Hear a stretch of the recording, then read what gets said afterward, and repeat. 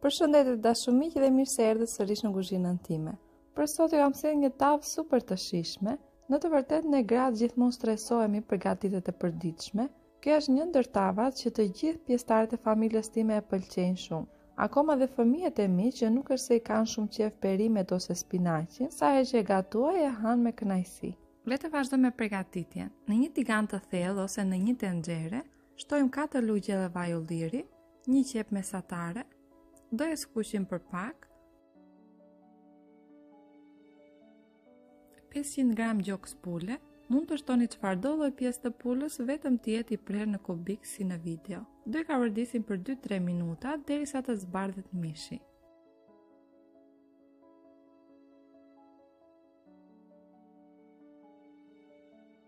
Shtojmë një lugë kafeje kripë, piper të zi dhe piper të kuq sipas dëshirës.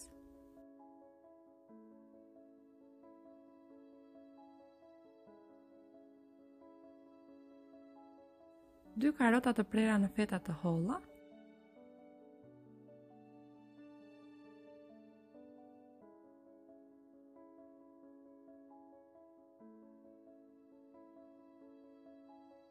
700 gram patate të prera në këtë mënyrë, jo shumë të trasha, të jenë pak të holla, në këtë mënyrë piqet më mirë dhe tava ka më shumë sy. Do i kaurdisim patatet për 3-4 minuta, derisa të marrin një aromë të mirë dhe të fillojnë pak të zbuten.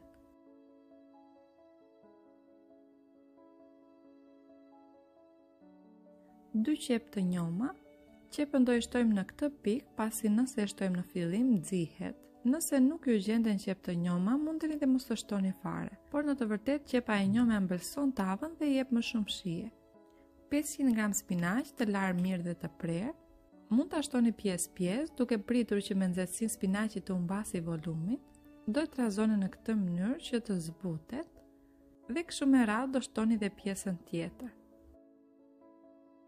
Do e lëmë spinaqin për 2 minuta në këtë mënyrë derisa të zbutet.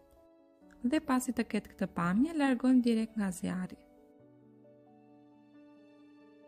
Sërish në një enë të thellë ose në një tenxhere, shtojmë 2 lugë gjelle gjalpë ose margarinë dhe 2 lugë gjelle miell.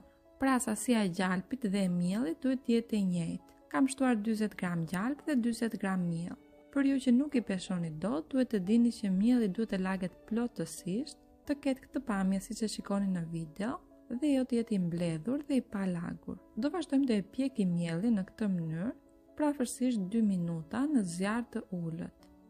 Shtojmë 1 litër me qumësht, e trazojmë me shpejtësi që të shpërndahet mielli dhe mos të mbetet kokla-kokla.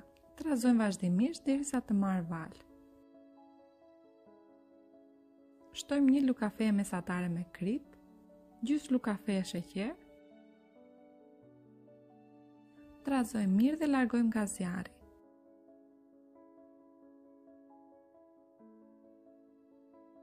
Do e lini për 2 minuta të ftohet, të ulet pak temperatura, shtojmë një vezë të plotë dhe trazojmë me shpejtësi. Kremin e kemi gati, duhet të jetë i hollë në këtë mënyrë siç e shikoni në video. Shtojmë patatet, spinaqin dhe gjoksin e pulës. Do i trazojmë derisa të bashkohen mirë.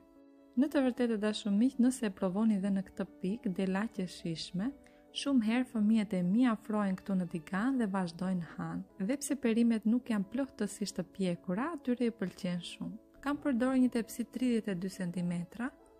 Do e lyejmë mirë me vaj dhe sipër hedhim pak galetë, pra bukë të thekur. Është diçka opsionale, nëse nuk keni, mos shtoni. E hedhim të gjithë masën në tepsi. Shtrojmë mirë me një lugë që mos të depërtojnë perimet jashtë të jenë të bashkuara me kremin.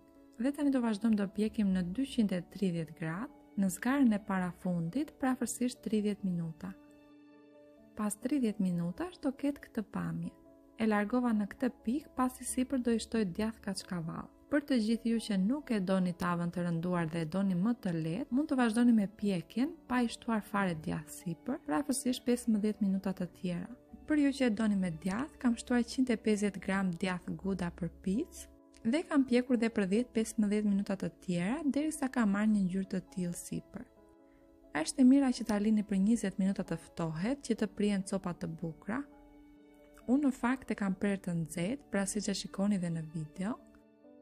Nëse nuk e keni provuar këtë tavë në këtë mënyrë të gatuar, ju sugjeroj që ta provoni sepse në të vërtetë ka për t'ju lënë tepër të kënaqur. Jam e sigurt se gjithë familja do e pëlqejë. Dhe ja pra të dashur miq ku përfunduam dhe me recetën e sotshme. Punë të mbarë për ata që do provojnë, bashkë mirudëgjofshim.